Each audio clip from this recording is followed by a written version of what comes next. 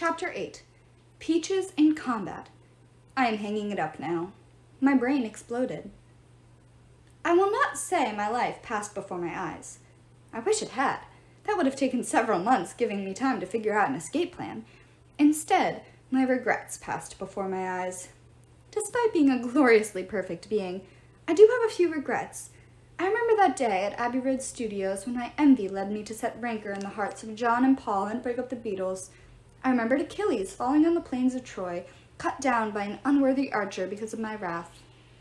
I saw Hyacinthus, his bronze shoulders and dark ringlets gleaming in the sunlight. Standing on the sideline of the discus field, he gave me a brilliant smile. Even you can't throw that far, he teased. Watch me, I said. I threw the discus, then stared in horror as a gust of wind made it veer inexplicably toward Hyacinthus's handsome face. And of course I saw her, the other love of my life. Her fair skin transforming into bark, her hair sprouting green leaves, her eyes hardening into rivulets of sap. Those memories brought back so much pain, you might think I would welcome the glittering plague mist descending over me. Yet my new mortal self rebelled. I was too young to die. I hadn't even had my first kiss. Yes, my godly catalog of exes was filled with more beautiful people than a Kardashian party guest list, but none of that seemed real to me. If I'm being totally honest, I have to confess something else. All gods fear death, even when we are not encased in mortal forms. That may seem silly. We are immortal, but as you've seen, immortality can be taken away. In my case, three stinking times. Gods know about fading. They know about being forgotten over the centuries. The idea of ceasing to exist altogether terrifies us. In fact, well, Zeus would not like me sharing this information, and if you tell anyone, I will deny I ever said it. But the truth is, we gods are a little in awe of you mortals. You spend your whole lives knowing you will die. No matter how many friends and relatives you have, your puny existence will quickly be forgotten. How do you cope with it? Why are you not running around constantly screaming and pulling your hair out? Your bravery, I must admit, is quite admirable. Now, where was I? Right, I was dying. I rolled around in the mud, holding my breath, trying to brush off the disease cloud, but it was not as easy as spotting a fly or an uppity mortal. I caught a glimpse of Meg, playing a deadly game of tag with a third Nosos, trying to keep a peach tree between herself and the spirit. She yelled something to me, but her voice seemed tinny and far away. Somewhere to my left, the ground shook. A miniature geyser erupted from the field. Percy crawled toward it desperately. He thrust his face in the water, washing away the smoke. My eyesight began to dim. Percy struggled to his feet. He ripped out the source of the geyser, an irrigation pipe, and turned the water on me. Normally, I do not like being doused. Every time I go camping with Artemis, she likes to wake me up with a bucket of ice cold water. But in this case, I didn't mind. The water disrupted the smoke, allowing me to roll away and gasp for air. Nearby, our two gaseous enemies reformed as dripping wet corpses, their yellow eyes glowing with annoyance. Meg yelled again. This time I understood her words.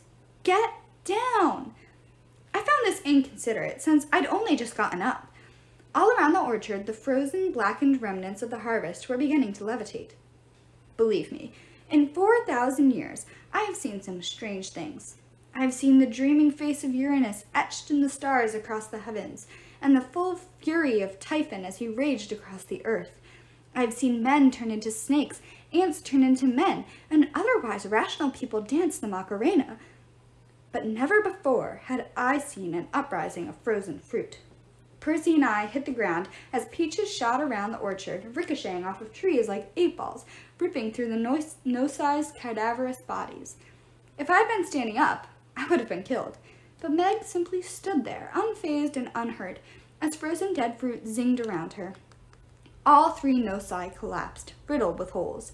Every piece of fruit dropped to the ground. Percy looked up, his eyes red and puffy. What just happened? He sounded congested, which meant he hadn't completely escaped the effects of the plague cloud, but at least he wasn't dead. That was generally a good sign. I don't know, I admitted. Meg, is it safe? She was staring in amazement at the carnage of fruit, mangled corpses, and broken tree limbs. I... I'm not sure. How'd you do that? Percy snuffled. Meg looked horrified. I didn't. I just knew it would happen.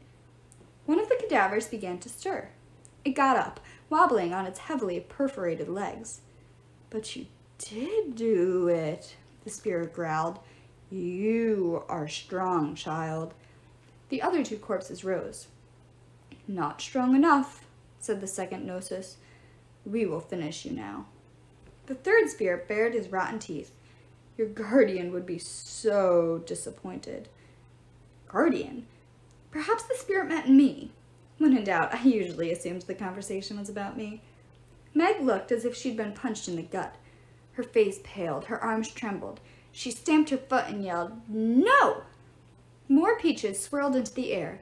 This time, the fruit blurred together in a fructose dust devil until standing in front of Meg was a creature like a pudgy human toddler wearing only a linen diaper. Protruding from his back were wings made of leafy branches. His babyish face might have been cute, except for the glowing green eyes and pointy fangs. The creature snarled and snapped at the air. Oh no, Percy shook his head. I hate these things. The three Nosoi also did not look pleased. They edged away from the snarling baby. What, what is it? Meg asked. I stared at her in disbelief. She had to be the cause of this fruit-based strangeness, but she looked sh as shocked as we were. Unfortunately, if Meg didn't know how she had summoned this creature, she would not know how to make it go away. And like Percy Jackson, I was no fan of Carpoi. It's a grain spirit, I said, trying to keep the panic out of my voice. I've never seen a peach carpos before, but if it's as vicious as the other types... I was about to say, we're doomed, but that seemed both obvious and depressing. The peach baby turned toward the Nosoi. For a moment, I feared he would make some hellish alliance, an axis of evil between illnesses and fruits. The middle corpse, the one with the peach in his forehead, inched backward. Do not interfere, he warned the carpos. We will not allow... The peach baby launched himself at the Nosos and bit his head off. That is not a figure of speech. The carpos's fanged mouth unhinged, expanding into an unbelievable circumference, then closed around the cadaver's head and chomped it off in one bite. Oh dear, I hope you weren't eating dinner as you read that.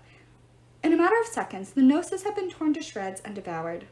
Understandably, the other two Nosoi retreated, but the carpus crouched and sprang. He landed on the second corpse and proceeded to rip it into plague-flavored cream of wheat, the last spirit dissolved into glittering smoke and tried to fly away, but the peach baby spread his leafy wings and launched himself in pursuit. He opened his mouth and inhaled the sickness, snapping and swallowing until every wisp of smoke was gone.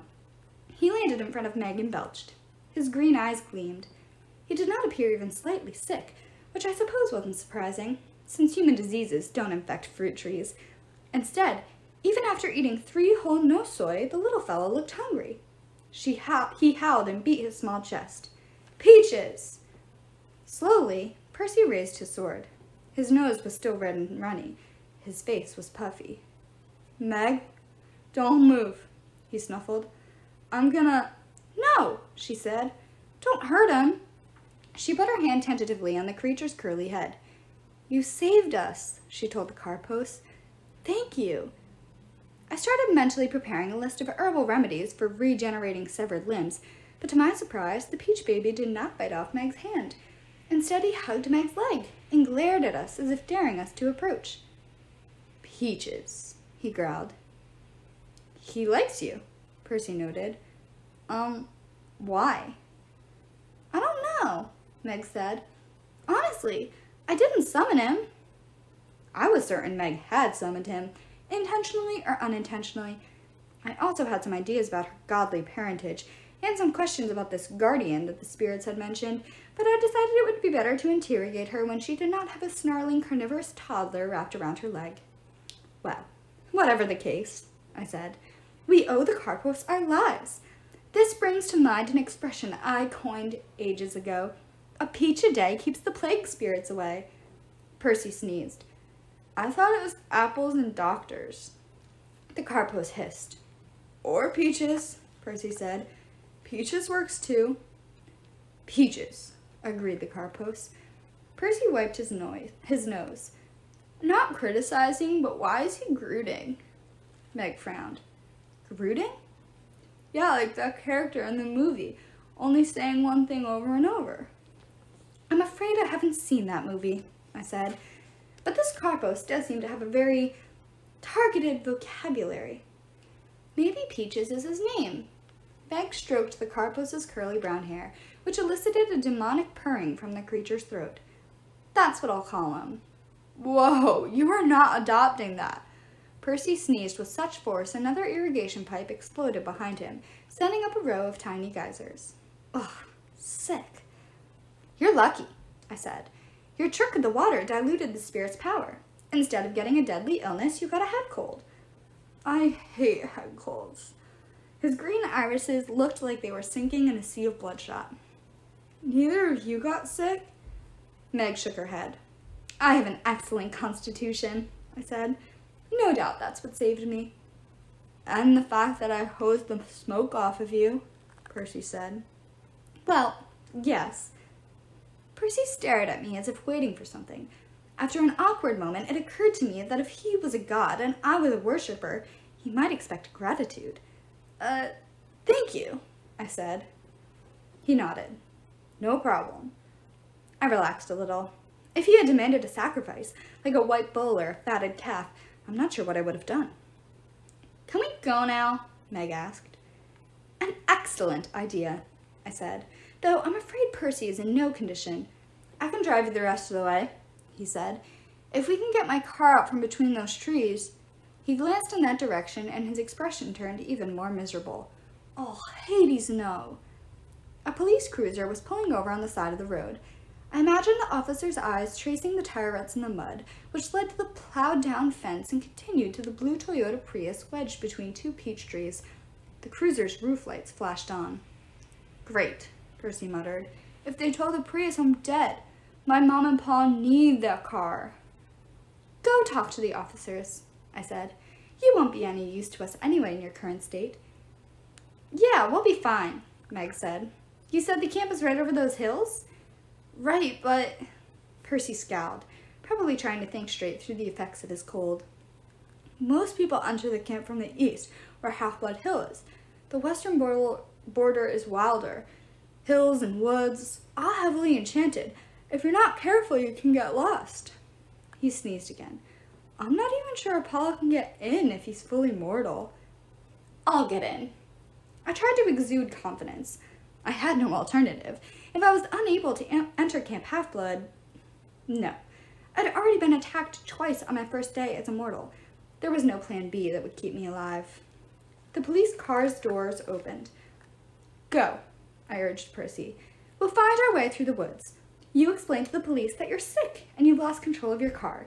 They'll go easy on you. Percy laughed. Yeah, cops love me almost as much as teachers do. He glanced at Meg. You sure you're okay with the baby fruit demon? Peaches growled. All good, Meg promised. Go home, rest, get lots of fluids.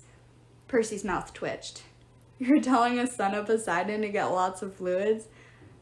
Okay, just try to survive until the weekend, will you? I'll come to camp to check on you guys if I can. Be careful and... Achoo! Muttering unhappily, he touched the cap of his pen to his sword, turning it back into a simple ballpoint a wise precaution before approaching law enforcement.